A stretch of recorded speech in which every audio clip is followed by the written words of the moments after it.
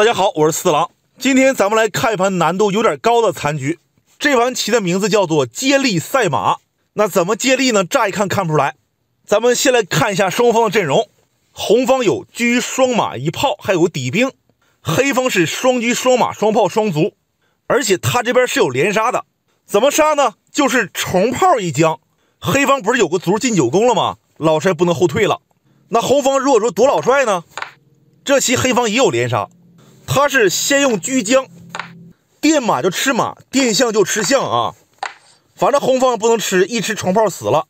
如果说你再退，那黑方平卒将，这个卒有马生根，红方只能逃平车绝杀。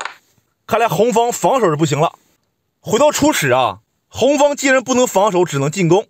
如果说平炮一将，那黑方就落势，这个棋又输了，因为你没法跳马将，黑方打着底炮呢。那不跳马，如果用车将，黑方就吃兵。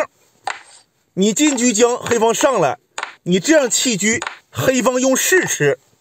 如果用老将吃，边路这个马还能够我将，但是现在不行了，这棋走不下去了。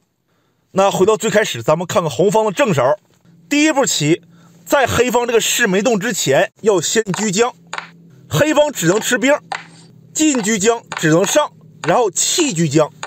哎，这回黑方只能老将做。接下来咱们的马炮就可以上场了，先跳马将，先平炮将，结果都一样，反正早晚都得走啊。先平炮将吧，黑方没法垫，老将没法动，只能落士。下一手棋咱们要跳马了，这个马呢怎么跳都行。因为你无论怎么跳，都得把黑方这个卒吃了。往这跳就不用说了，黑方一上将把卒一踩，还是在将。咱们说往这跳啊，这也能赢。黑方上将回马将，这里黑方不敢上三楼，不然回马一步杀。现在是炮在将，老将没法回中嘛。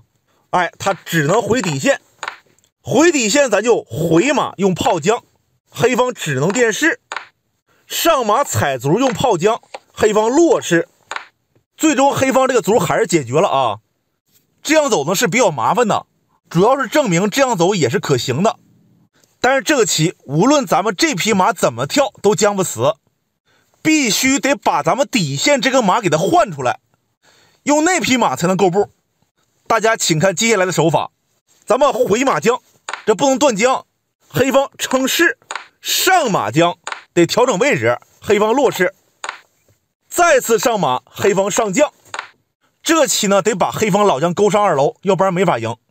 接下来回马再将，黑方称士，再回马将，黑方称士，继续回马，黑方称士，往底线跳，用炮将，这就是个狸猫换太子的手法。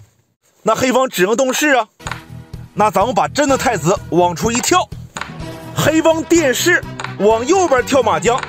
黑方落士，继续上马将，黑方称士，最后神之一跳，绝杀无解，最终形成了马炮双将。哎，这个棋呢就拿下了。这个残局综合难度四颗星。感谢大家收看，咱们下期再会。